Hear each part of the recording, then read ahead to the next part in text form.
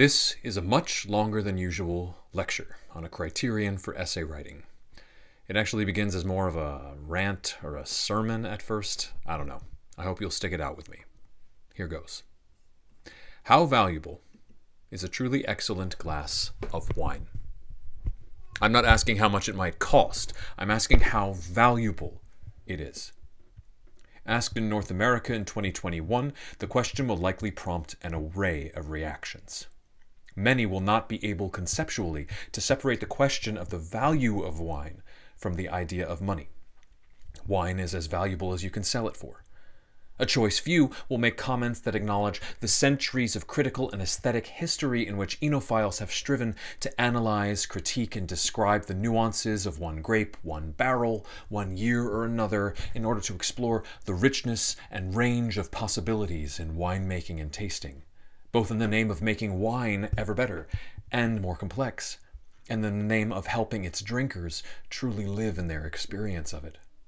Even as those appreciators may also perhaps rightly acknowledge how frustrating it is that elitist structures have withheld that rich wine drinking experience to only very few, and how that elitism has thus drastically limited the number of taste buds, and so the depth of taste to which winemakers and wine lovers have access. But most people, when asked how valuable is a truly excellent glass of wine, will say it's all elitist bullshit anyway. Frustrated by the continual institutional gatekeeping of wine, and angered by the realization that the treasures behind that gate can only be appreciated with calm and engagement and reflection, slowly sniffing and turning and swishing, which none of us have time for anymore, they will disregard centuries of aesthetic and critical striving in one fell Philistine swoop and say it's really all the same. It's really all just white or red or rose, and the rest is just one big scam. Let everyone drink whatever they like and shut up about it. If your wine sells well, then that's as good as good wine gets. And if it doesn't, and your heritage grape strain, your heritage grape strains die out, it sucks for you. Some sommelier is not going to tell me what wine is good and what isn't. Sure, the sommelier has spent their life working with depth of taste and pairings and such, but me, I just buy whatevs, and I know what I like, and beauty is in the eye of the beholder, and everything is relative anyway, and there's no such thing as taste. There's no such thing as anything, not beyond what I like or don't like. I'm assuming you've understood at this point that what is true of wine appreciation and how wine appreciation is received culturally is equally true of literary study. I think here of the word connoisseur, one who knows. To quote the OED, a person well acquainted with one of the fine arts and competent to pass a judgment in relation thereto, a critical judge of art or of matters of taste, as well as here of wines and delicacies, etc. You'll see it actually meant art first. To enter a university level program in English in theory, is to go from just loving language and literature to becoming a connoisseur of language and literature. To have spent enough time with language and literature, sniffing thoughtfully at language and literature, swishing language and literature around in your mouth, tracking language and literature to the barrels in which they aged and the fields from which their grapes grew, comparing sip to sip, bottle to bottle, and vintage to vintage in search of variety and in search of quality. So when you've completed your education, you appreciate language and literature so deeply you can see things in them no one else can. And you can help everyone else appreciate their beauty, their artistry, their power, and their meaning in ways that add beauty, artistry, power, and meaning to the world, even as the world might habitually doubt the power and meaning of what you do and of what language and literature can be. There is a strong parallel here, too, between close reading, really properly close reading, and the wine connoisseur's slow, thoughtful, and deeply informed sipping. And that is what university English professors are here to train you to do. The problem is that the way we generally do it is this. We invite you in because you love that wine, language and literature. I'm studying the metaphor here. By wine, I mean English literature and language. We invite you into our school for connoisseurs because you have loved that wine for much of your life. And then we say, You like that wine? Drink! Show me you love it! And we pour and we pour gallons and gallons in your face constantly. Drink! Chug! Chug, chug, chug, chug! We call on you to express your intimate knowledge of the 1983 French vintage as we pour a gallon of it down your throat while forcing you to chug four or five other gallons at once, constantly, and we just keep pouring and pouring, all the while saying appreciate, analyze, understand, pouring gallons of the stuff continually over your head until you and your fellow would be connoisseurs find yourself in a sea of wine, the cheap boxed stuff mixed with vintages centuries old until nothing tastes like anything the waves of wine rushing into your face and past your body at impossible speeds while you're just trying to breathe at all, let alone sniff any subtle bouquets. This is, of course, not what they do, I think, in sommelier, sommelier tree, I can't say the word, in sommelier training school. But what we do here feels equally absurd at times. We have turned into a massive, relentless boot camp the cultural discipline most necessarily founded on slow, reflective reading and discussion, on appreciation, and on thoughtful debate and argument. After three or four years of that, there are generally three reactions students can be expected to have. The first is that they learn to hate wine, to come out despising the love that drew them in. The second is to get so drunk and oxygen deprived from all of the flood, nearly drowning in the rush of the stuff, that they can barely taste wine anymore at all, or even be particularly aware of it when they're drinking it. And the third is to fake it. To become exactly the kind of faker about wine that the haters out there believe we all are anyway. My wife had a friend at university who worked at a, we went to university together, but it was her friend. She had a friend at university who worked at a fancy restaurant by night and was required by his employers to memorize in depth descriptions of each vintage of wine they sold. But he was busy. He was working the job while going to school full time, as we all were. Luckily, this friend was very good at improv. So, whenever customers asked him to describe the wine they were considering, he would just rattle off a perfectly coherent analysis that he had just made up. They were all very impressed with his knowledge of wine. His employers, who are also always so busy, never followed up to find him out, and may not have really cared. To the point. Our over-assigning, over-rushed university culture is geared in the humanities toward producing English majors, minors, and specialists who become semi-conscious readers, haters of literature, or fakers, many of whom years later find they remember nearly nothing that they read or learned. Those students who come out differently, and there are many of you who do, those students who come out differently do so generally in spite of the way that the university is built, not because of it. I know many students who fight the current. I'd say most of my students that come to my classes, I find fight the current. They fight to get something more out of what we offer here. But they have to swim hard against the current, and they can only escape so far. And to be clear, I believe that this is a university culture and university governance problem across most North American schools, not limited to my own. I find English departments, for the most part, very much including my own, do our best to ameliorate the wine flood problem, but there's only so much we can do, and only so hard we can swim against what is culturally systemically true of North American universities writ large. So let me talk about the students for instance, those semi-conscious readers, the ones who can barely breathe, breathe through all the wine. Let's talk about them first. The semi-conscious readers didn't enter the program necessarily as semi-conscious readers for the most part. School made them so for the most part. They were lovers of literature. I can't tell you how many students of mine seem unable by the time they come to me. I usually teach third year courses. By the time they come to me, unable to follow the most basic instructions I try to give them whether in person or especially in writing. I find these students are so continually panicking about staying afloat at all, and so overwhelmed by the constant rush of it, and so habituated to only ever rushing their reading, that they look at an essay prompt or a course syllabus and they miss most of its details, even when I go over some of those details multiple times. These are students who are specifically here to learn to read in detail and to perceive nuanced meaning. So if I give a prompt, say like this, right? This is prompt I'm currently working with. Um, if I give a prompt like this, I inevitably and quite often get questions like, I know we have to focus on all 20 sonnets, but do we have to spend the same amount of time on each of them?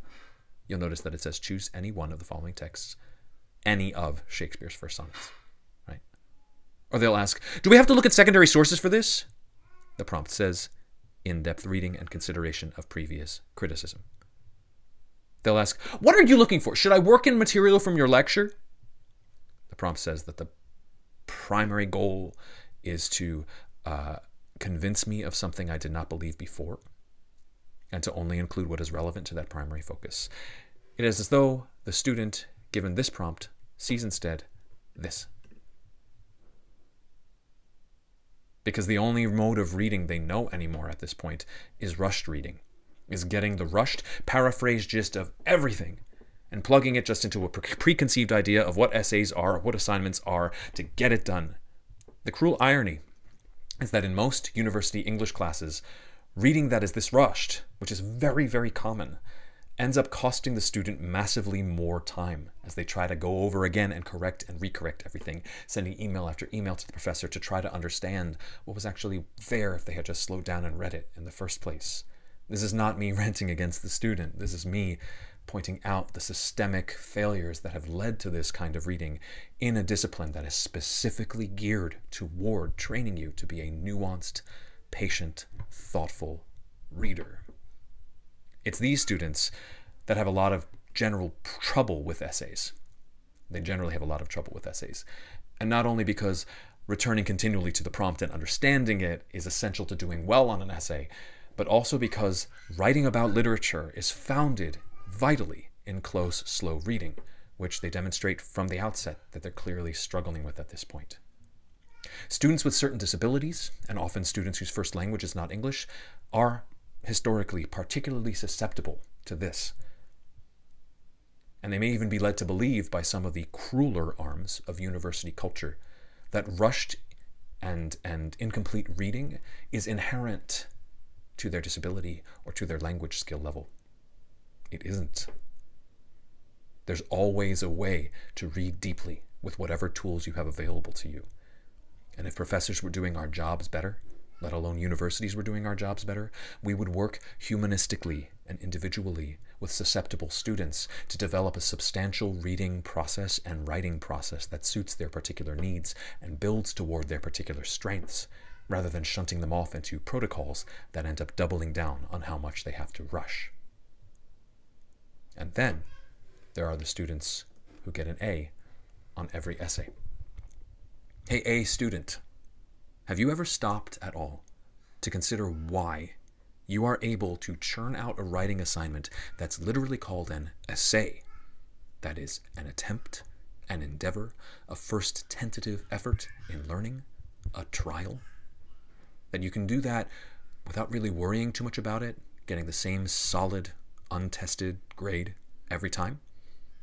Has it occurred to you, A student, that you've cracked a formula of getting the grade at the expense of the slow process of learning, exploration, experimentation, reflection, trying, and even failing on which the essay is built? And has it occurred to you thus that you're hacking that system, likely without even realizing you've hacked it, has robbed you of something? Have you asked yourself who benefits from rushing a student like you through the motions over and over again, doing the same assignment over and over again, regardless of the class? Have you asked yourself who loses out in that equation? For you, I'd like to share a story from my own experience of university as an undergraduate. Uh, there's another guy that my wife knew at university. He was completely in love with his girlfriend. This was in our third year, and the guy and his girlfriend spent almost every moment they could together, truly generally staying over at each other's dorms most nights. This was frustrating to the girlfriend's roommate, who was single and who had signed up with her best friend to room together the year prior so that they could have proper single girl time.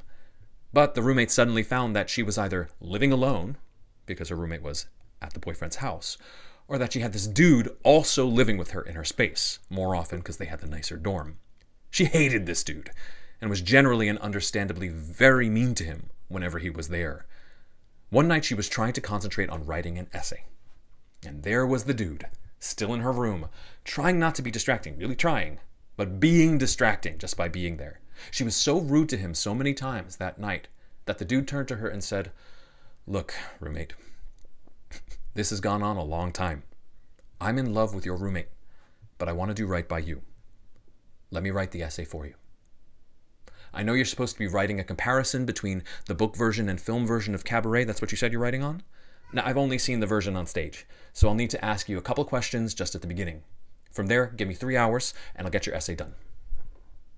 The roommate said, naturally, you can't write an essay for a class you haven't taken on two things you haven't read or seen. And the dude said, Oh, I can. But if I get you an A, you have to be nice to me from now on. He believed then that university essays were inherently hackable. And he had cracked the code. He sat down, he wrote for three hours or so, asking her a couple of questions, and then gave her the paper to look over. Then she submitted it with very few changes, and she got an A. She wasn't completely nice to him from then on anyway, but they did become good friends after that. He went on to marry the roommate, and the one who was mean to him before, the roommate who was mean to him before, he went on to marry the girlfriend, that is, and the girlfriend's roommate, who was mean to him, was in their bridal party. And later, when he became a professor of English literature at the University of Toronto, uh, I, he, uh, it was, it's me, remained deeply in love with my university girlfriend. I ended up marrying her. Uh, the roommate of my university girlfriend, who's now my wife, uh, the English, uh, my university girlfriend, who is now my wife, her roommate ended up becoming good friends of ours. We're still good friends with her, uh, and we visit, and our kids get along great together. So, uh, the university essay, the university humanities essay, remains hackable. I know that very well. But it shouldn't be. I'm actually, as a result, pretty good about spotting hack jobs when my students hand them to me. Most students who hack through university essays robbing themselves of deep thinking, don't realize at all that they are doing it. And they find, as the wine gets poured and poured in their face, and this was me as an undergrad too, that they can imagine no other way to proceed. In my case, it was only because of the efforts, the hard efforts of some excellent, excellent English and theater studies professors in both undergrad and grad school, that I learned that being able to quickly squeeze out an A paper isn't a reason to do so. But it took a lot of effort to break the habits I'd formed because, in a university culture that even then continually rushed me, I had fallen into a lot of bad routines. The professors who saw through those routines and still asked more of me, they made me who I am. And I am forever grateful. The academic I've become now, the scholar I've become now, is one who is hyper conscious of making his own research be painstakingly, thoroughly truthful. It takes me forever to do anything that I work on now. My book, my monograph, was 12 years in the making, and it still felt way too rushed to me. I still find things in it where I'm like, oh, I could have done that a little differently. Not because I'm worried that I'll get caught in a falsehood or a half truth that I didn't notice, but because I'm terrified I won't get caught. And as an undergraduate instructor now, I am here with a particular understanding of what our wine guzzling, rushed, hackable culture is and of what the undergraduate humanities essay can do and can't do. That's why I teach the writing about literature course I teach. Essays in most English classes tend to work the same mental muscles over and over again, leaving students either baffled or hyperspecialized, often without actually measuring any skill any skill set or knowledge specific to the class that assigns them. That's the reason why graduate student graders often never have to attend the class that they're grading papers for, which seems to me silly. It's the reason why certain skilled undergraduates find that they can get an A in a class that they have never attended. And that's the reason why fraudulent custom essay companies, you've seen these ads posted around campus, can haunt campuses, offering to write your essay for you for a fee. Usually the four is written as the number four, right? Uh, Dave Tomar, under the pseudonym Ed Dante, wrote about his experience being one of those hack essay writers, one of those people who haunt the campus, getting uh, hire, getting hired to write students' essays for them and pretend it's theirs. Um, he wrote about his experience being a shadow scholar. I quote, he says, As for me, I'm planning to retire. I'm tired of helping you make your students look competent. It's a very intense article. Um, I linked that article at the web in the web page in which this video is embedded below. Uh, you should take a look at it. It's disturbing. Now you'll note that I am not here including the usual pearl-clutching horror at academic dishonesty. Don't do it! Don't you dare! Because how could I? I openly admit that I'm a former offender myself. I didn't write a falsified essay for a grade or for money. I wrote it because I was in love. but still. Here I am rather pointing at how and why university culture pressures undergraduates into that most insincere writing in the first place. I do so because I believe there is only one way out, and that is to swim against the current of the flood of wine, even as it nearly overwhelms you, and to make a habit of demanding more from your essays and your reading assignments than has been asked of you. Let me pause for a minute here, if only because I'm a little concerned that semi conscious listeners might think I am justifying or excusing plagiarism here. I offer you this diagram on process as an ethical spectrum for the undergraduate essay writer. That is, what I mean by that is what is wrong and what is right, like objectively wrong and objectively right, as well as what is good or bad for your growth as a thinker or writer, growth which, I would argue, will itself make the university more right and the world more right than it is. So, um, I want to sort of locate what I mean when I say hack jobs as opposed to rush jobs in this lecture and also put them in position to what essays really ought to be and what essays should never be, that is academic dishonesty. Um, so moving, moving from uh, left to right, let's start with academic dishonesty in the bottom left-hand corner. Academic honesty is always a bad investment. It's never ever worth it, even if you don't get caught and you really probably will get caught because English profs are very attuned to inconsistencies in style and content, and the punishment is rightly severe. Um, I am particularly good at catching academic honesty, dishonesty, because as I have explained earlier in this lecture, I am a former offender myself. But the worst of it is that you in that you invalidate by being academically dishonest. Uh, you invalidate the legitimacy of the credentials for which you've worked and that will haunt you your whole life in unexpected ways. If you are too academically dishonest, and honestly, if you hack too many jobs, you will find that 10, 20 years have passed, and you look back on what your university striving was, what this diploma you got means, what this certification you got means, and it will ring hollow in a really sad way. That alone is punishment enough.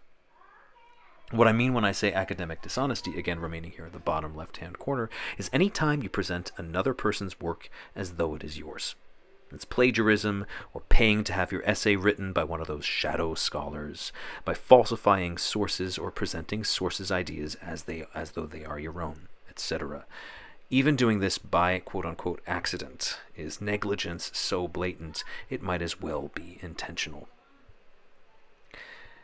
Uh, and sometimes students sort of worry excessively about unintentional plagiarism, but the truth is just cite all your sources. And if you're worried about it and paying attention to it, you're probably fine.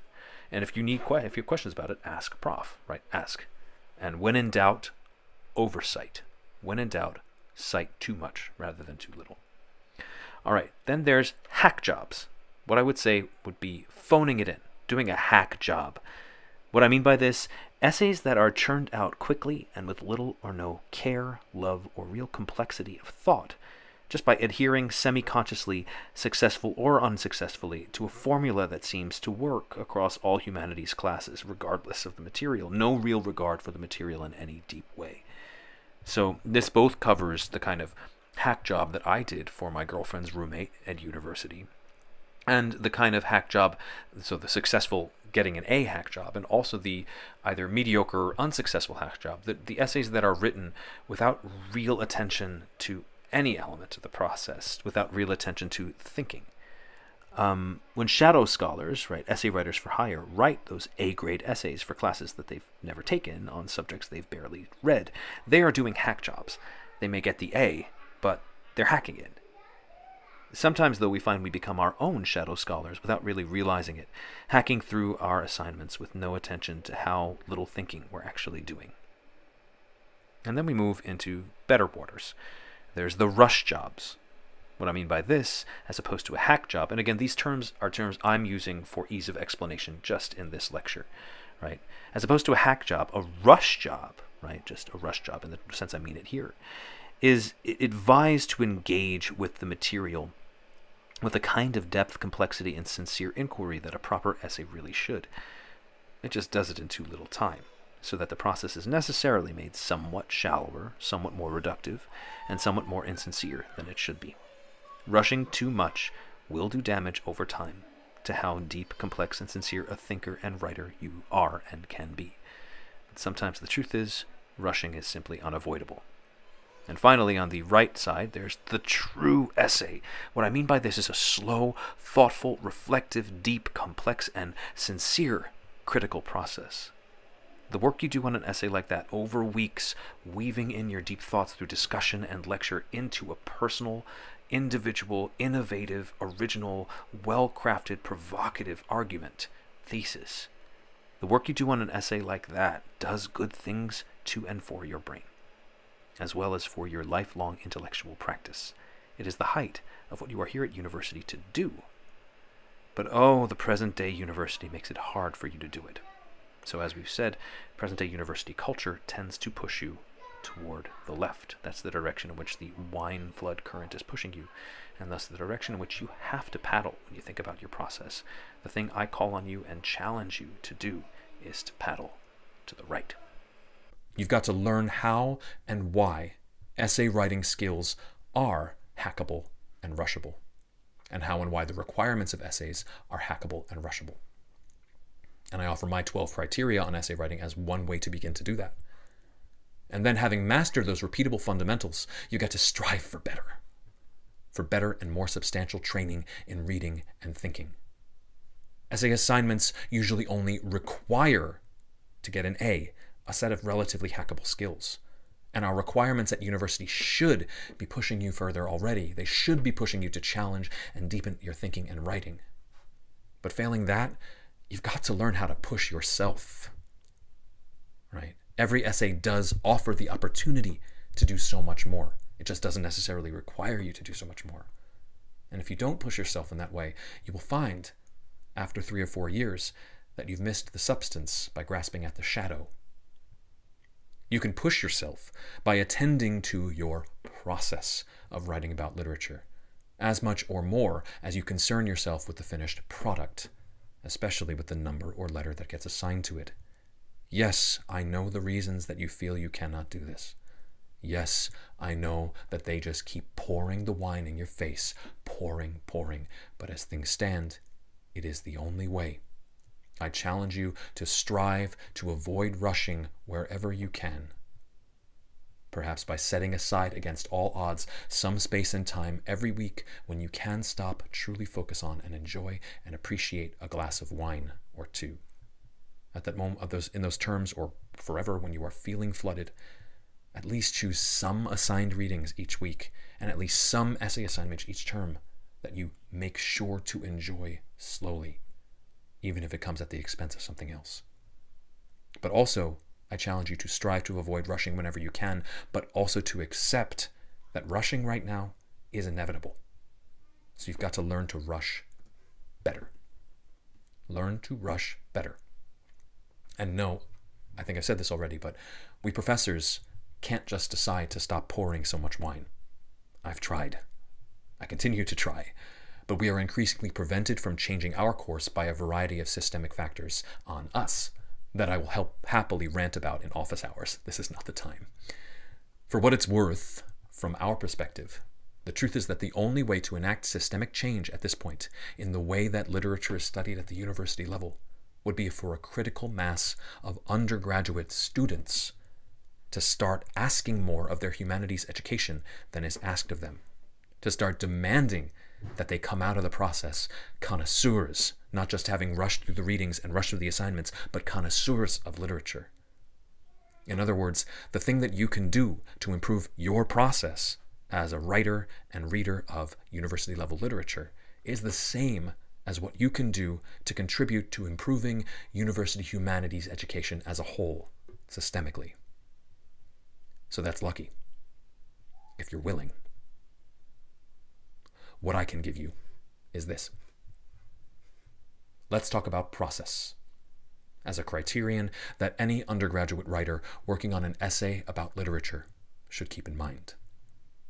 This lecture is a very extended version of what is already included in my one-page handout on process, also copied at my webpage on process, where this video is embedded and where you may be watching this. You can feel free to follow along with those as I talk. So if you've received feedback from professors saying things like hasty, rushed, misunderstood prompt or assignment, you didn't follow my previous comments, or anything with which the professor seems frustrated or impatient, this is a criterion that likely requires your attention. When English professors have the rare opportunity to provide critical writing feedback directly to a student, the student's response tends most often to be something like, Well, that's what I meant to do, but I ran out of time.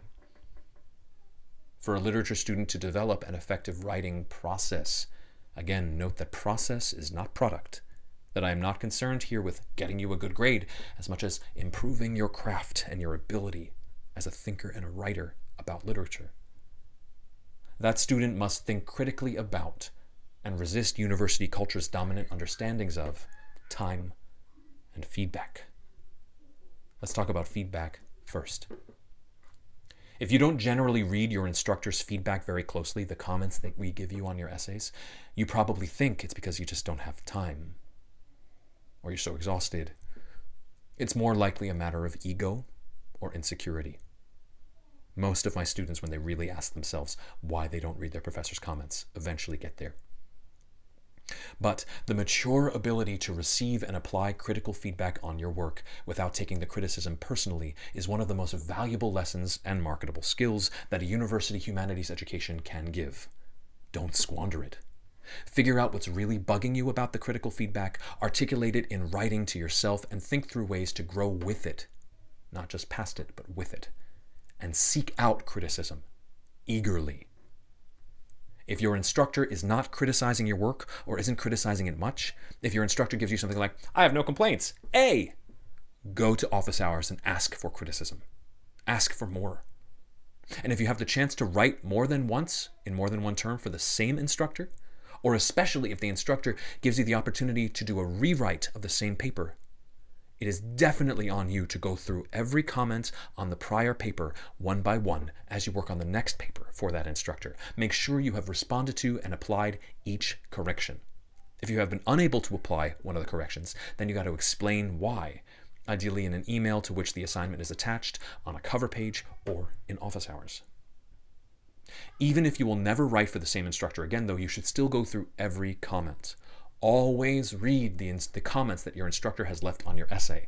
It's one of the most important things for process. Read them twice. English professors' approaches to writing vary widely. So the best possible education you can get as a writer must come from writing for each of us in turn and honing your work through critical feedback from such diverse but eminently authoritative sources. Again, think of your essays from class to class as the building and shaping of an ongoing portfolio. Keep those comments in a file that you can return to later. Don't throw them away. Each time you put a new set of comments in the file, compare them to the comments you have received before. And if you do not understand any of your professor's comments, you have to follow up in office hours or perhaps by email, even after the term has ended. Now, this is the point where that semi conscious student who's not really reading or listening because they're so overwhelmed says, Ah, all my profs are saying that they want me to do different things. Like they'll come out of this lecture and still say, Well, I mean, you're telling me something that somebody else told me different. Yes, yes, that is true. I'm going to say it again. English professors' approaches to writing vary widely. The best possible education you can get as a writer must come from writing for each of us in turn and honing your work through critical feedback from such diverse but eminently authoritative sources. English professors' approaches to writing vary widely. I'm saying it again. English professors' approaches to writing vary widely. The best possible education you can get as a writer must come from writing for each of us in turn and honing your work through critical feedback from such diverse but eminently authoritative sources. I don't think any of the times I've repeated that I've pronounced the word authoritative correctly, but I've tried. Anyway, this is one of the most important things I can teach you. You should be braiding together all of the diverse commentary you get on essays across the essay writing experience at university. That's how the repeated stress of doing the same task over and over again becomes productive of better critical thinking over time. Speaking of which, let's talk about time. The students who say, well, yeah, if I had the time, I could write something worthwhile, overestimate the amount of time that professional scholars usually have to generate our work. There is never enough time. There will never be enough time. So, this human- so the humanities scholars' work at every level must be to figure out how to make a sincere and real con- I shouldn't say never. There is almost never enough time. And you have to fight for it if you want what feels like enough time. And it won't feel like enough time. Anyway, the humanities scholars' work at every level, from undergraduate to professor, is to figure out how to make a sincere and real contribution to humanistic discourse in the limited span of time, sometimes even immediately, say in in class exercises or in class discussion, and sometimes under great pressure. Incidentally, doing that is also the work of a responsible ethical member of 21st century society overall. So, some tips how to not rush. Some ideas do free write exercises. They are easy, fun, and painless. Do a free write as soon as you get the assignment once, right? As soon as you see the prompt, do a free write. And then do it again as soon as you have chosen your subject. That will just get some ideas percolating early. If you're not sure what a free write is, I'll explain quickly. A free write is uh, an exercise you can do. You set a timer for an amount of time, 10 minutes or 20 minutes might be a good start, or maybe maybe maybe 10 or 15 uh, but no fewer than 10. And for 10 minutes, you cannot stop writing. You can do this longhand or by typing. You cannot delete, you cannot cross out, you cannot go back over everything. You just have to write the thoughts as they occur to you. It sort of will feel like free indirect discourse. You will end up writing things like, I don't know what to say, I don't know what to say, I hate this professor, I hate this whatever, but, but, but, but right. And you, you work yourself to by continually writing and not stopping. You work yourself to get your ideas percolating. Percolating. Another idea, set a fake deadline for yourself. If your tendency is to procrastinate, own that and compress your work toward a deadline that is at least three days from when it is actually due. Then, when the real deadline comes, it'll allow you to give the paper at least one last look. More importantly, have someone else read it through before you submit it at that stage. If you are a procrastinator, as I am, I encourage you to read uh, the uh, the reading from Suzanne Akbari from her uh, edited book on how we write, which is linked below. It's pretty powerful, uh, and she talks about her process of writing. Another tip read assignments from the start with engagement. That is, read the assigned readings that you get, always in an engaged way, making notes. And there's more uh, uh, tips for that in my stakes uh, page, on my stakes page, which you can look at. Uh, before any writing prompt is given, I recommend that you read deeply enough into assigned texts that you can already articulate complex ideas about them. So you've already thought about the text when you discuss them in class, so that when time comes to start thinking about an essay, you're primed and you're ready and you've got your text marked up. And finally, office hours, office hours, office hours. Office hours are the hidden treasure of your time at university. The time you put in at your prof's office hours, as busy as you are, as overwhelmed as you are, especially when you're working on an essay, that time will always yield net positive results for your work overall. The time you put in will always prove worth your time in the end. Okay, so that's how to not rush. But you are going to still end up rushing. So here's how not to rush when you rush. A few tips. One, don't get judgy. When you find yourself up against a deadline, welcome to the club. Don't let your haste trigger an inferiority complex. Oh God, I should have done this earlier. I'm so stupid. My uncle was right about me. I don't know, whatever. I don't know where that came from, right? If you trigger that inferiority complex, you'll be much less able to use the time you do have. Know that you're in good company when you're rushing. We all have to do it. If you're eligible for or deserving of accommodations, ask for them and ask for them ahead of time to get you the time you need. But when you find yourself pressurized, don't get judgy about it. Two, don't play it safe. For work done in haste, a risky but messy paper will likely do better and will teach you more than a tepid, obvious paper. A lot of students feel like when they're working with limited time resources, they should just hew close to the coast, stay close to the coast, right? Not go out into waters. And when they do so, they end up with a, a, a tepid, obvious paper that doesn't do as well as if they had still made time to take risks during their rush. Three, don't write when you're compromised. A late paper often does better than an exhausted one if it's a question between handing it in late or staying up all night to get it done technically on time, by the way, professors need to remember not to make our deadlines in the morning. That enforces a terrible relationship with sleep that students have. I try to not do so. We should also not make deadlines after weekends. Anyway, that's another rant. But anyway, um, you'll often find that a late paper often does better than an exhausted one, but you should take into account what the late policy in the class is, especially if your prof has a lenient lateness policy, which I always do. It's very often a better choice and get you a higher grade if you take the small lateness policy and hand it in a little bit after time. Four, don't sacrifice your health because the costs, not only because the costs to your craft will outweigh the benefits. The more you do things to your body that are harmful, right, in trying to get the thing done on time, that is sacrificing too much sleep, sacrificing really any sleep. You should always be trying to gun for a good night's sleep, even when things are really hitting the fan um, any kind of substances, legal or illegal, that people use to try to get the essay done, right? Whether you're caffeinating yourself beyond belief or doing something worse than that, you will find that if you have those practices as part of your essay writing habit, they will uh, make it harder and harder for you to write an essay over time. And then the costs will outweigh the benefits. And finally, five, don't be shady. Don't hire a shadow scholar, my God. Unethical choices in essay writing often come at the last minute the students who get caught in it, whether they're plagiarizing or hiring it out or whatever, uh, they end up revealing that they just were so panicked at the end they didn't know what else to do. Right? Those unethical choices in essay writing often come at the last minute. Many explode in the students' faces. The cost is way higher. And then all end up doing serious, and even if you don't get caught, it ends up doing serious permanent damage to the craft of your writing and thinking. So, okay, we've done how to not rush. We've done how not to rush. Let's talk about how to rush. He said, ironically, in an extra long lecture. How to rush. We, we all do it because we all have to. So it's essential to know how to rush productively and fruitfully, to do your best in that rushing. Again, I refer you to Suzanne Akbari's excellent piece on her writing process and on productive procrastination, which again you can find linked at the bottom of the page in which this video is embedded. And here are some of my own tips about how to rush well even when you're running late, because a paper you care about will always flow more readily. You have to take the time to play in the sandbox a long time, right? So let's say you have X number of hours to get the essay done. You should do, I can't do math, you should do one third of that X time should be spent still in the sandbox figuring things out.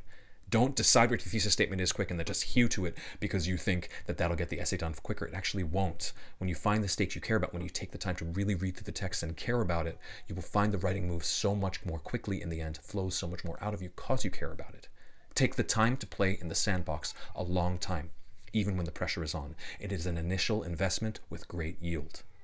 So if you got, say, 10 hours to work, sorry about my math, you should probably spend the first three or four of those hours just kicking the text and the research around before you start hypothesizing. Uh, weird. On this list should be enlist help. Keep friends and family nearby for last minute proofing and feedback. When you're really rushing, there's nothing better than asking someone, hey, could you look over this for me? Even if it's someone who hasn't taken the class or doesn't specialize in what you're studying.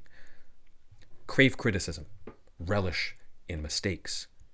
When you're pressed for time is when your worst writing habits and your worst misunderstandings about writing come out most clearly.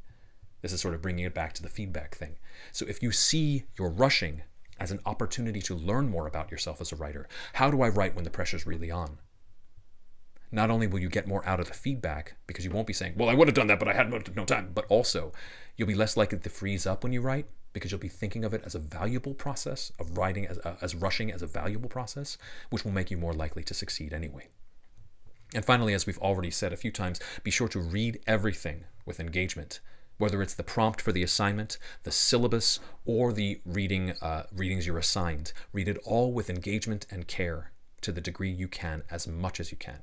Return to them again and again during your thinking and writing, especially when you're rushing. You should be looking back at that prompt frequently looking back at the source text and your major secondary source text frequently.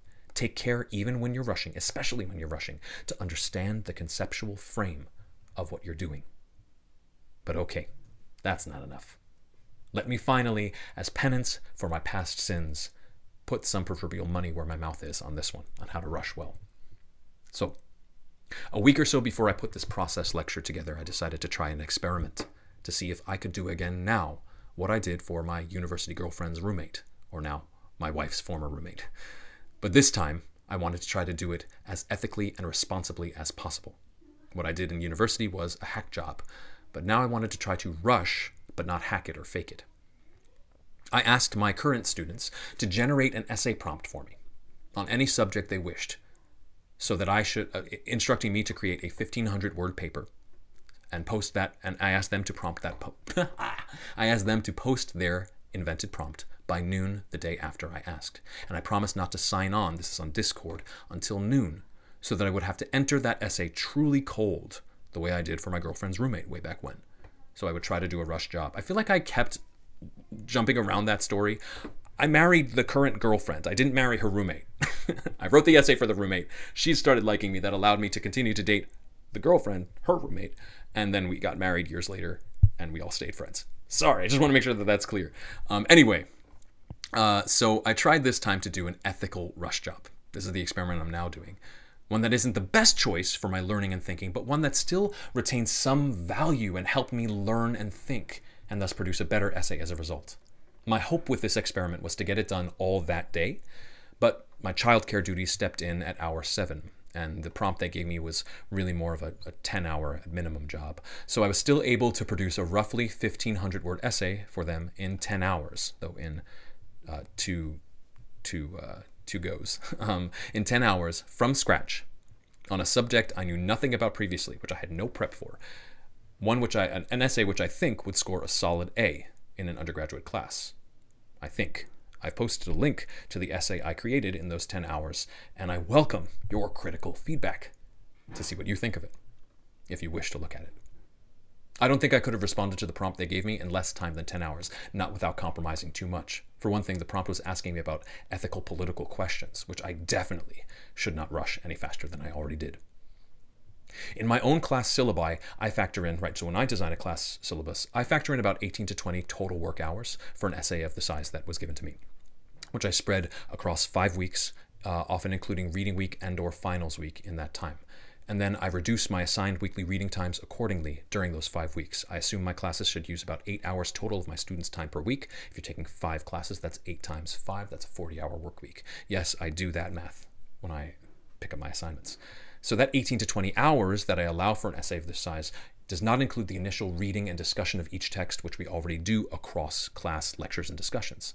So that's in that's that's in contrast, right? So the, the norm should be 18 to 20 hours for 1500 word paper, I would think, uh, not including the ongoing prep that is constituted by the class discussions and lectures. The 10 hour rush job I did in the experiment, in contrast, was truly from scratch. In this experiment, my own expertise gave me no advantage. The prompt they gave me, the students gave me, was on a subject I had never studied at all at the university level. So I was at a disadvantage. I never, they gave me James Joyce, a, a story by Joyce that I had never read. I've never studied James Joyce in a university classroom ever. So all I had to work with here were my 12 criteria for good writing about literature, which I know really well, especially including my sense of process. If I had given it more time, it would have been better, far, far, far better, especially for me, to have thought through the short story my students assigned me. They assigned me James Joyce's Araby.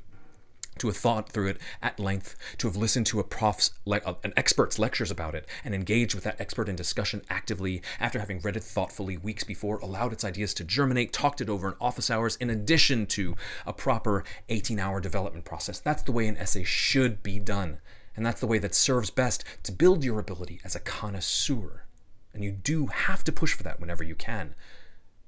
But the truth is that sometimes you can't. In the wine flood of university humanities studies, we sometimes make slow, reflective study and argumentation impossible for our students. It's a systemic problem, and it's one that isn't going anywhere for a long time. So, in reality, sometimes you only have a day, for whatever reason, or only a night. Though I want to warn you against too many all nighters. You only have so many of those in you before they start doing permanent damage. Trust me. In short, you've got to rush better and learn to rush better.